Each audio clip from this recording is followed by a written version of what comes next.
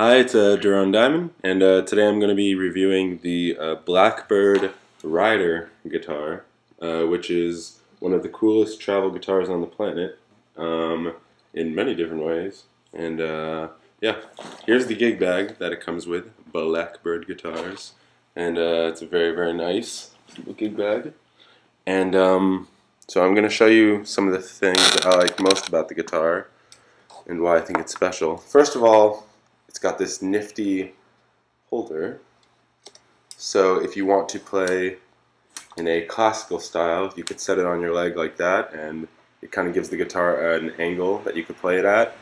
I don't particularly play this style, but it's a really cool thing that it comes with, that it has in, in case that is your style.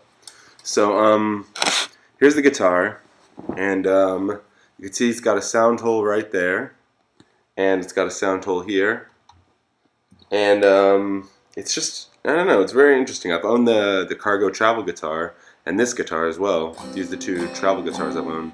And one of the the immediate advantages to this one, I, I feel, and one of the things that drew me to it was the fact that um, it uh, the um, spacing is um, the scale. Excuse me, the scale on the Cargo is I, I believe it's 22 and a half, and on this guitar I believe it's a full 24 and a half. So basically what that means is this, this plays more, um, I guess, relatively to a full-bodied guitar. It's um, an easier adjustment to go from that to this as opposed to that uh, to the cargo. Um, so right now I'll just play a little bit.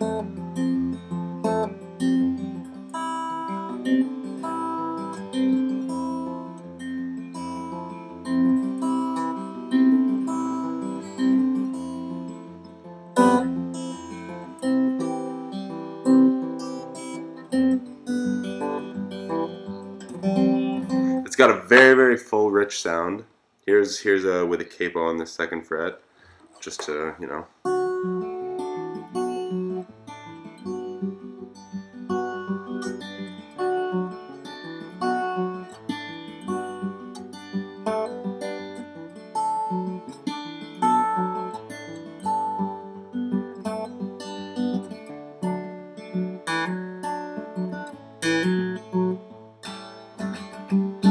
Sounds great strummed. It sounds great picked.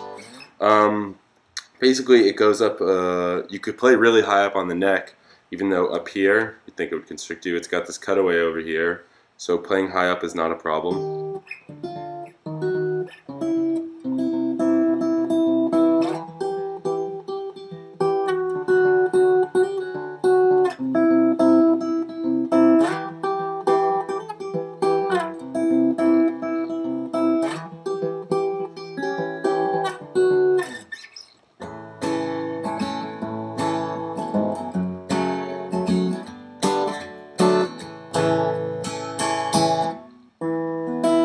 Stays remarkably well in tune.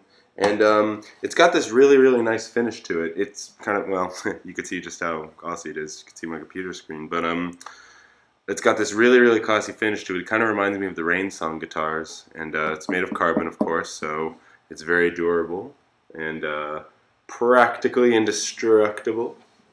And um, yeah, I just, I can't say enough positive things about it.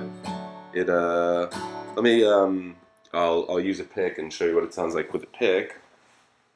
Uh, right here. And, uh,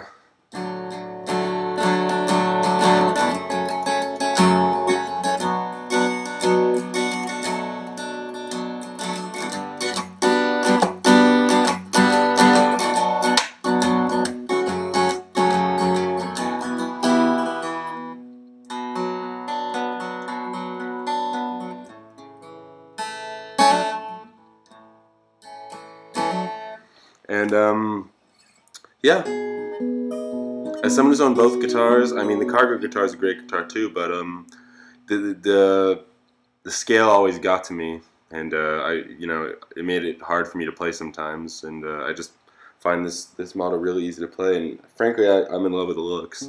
I just think you know people see this guitar and they're just kind of blown away. They're like, wow, that looks like an art piece.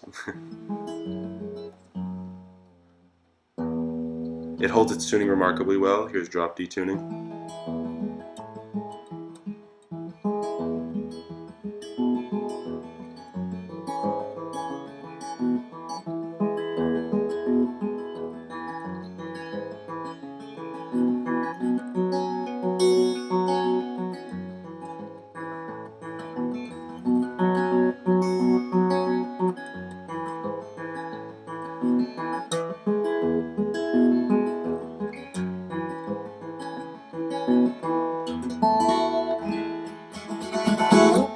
And yeah, so this is their uh, the Blackbird Rider guitar, blackbirdguitars.com, and um, it's just a, I highly highly recommend it. It's my travel guitar of choice, and yeah, I just it, you can get one with electronics uh, built in if you like to play live, or you could just get the, this one's just standard acoustic, no electronics built in, and um, it's just it's super light. Uh, forgot to mention that too. It's lighter than the Cargo. I believe this is two and a half pounds versus the Cargo's four, and um, it's very neck light too. The the neck is extremely light, and uh, so it's it's just I don't know. It's very easy to carry around and take places with you, and. Um,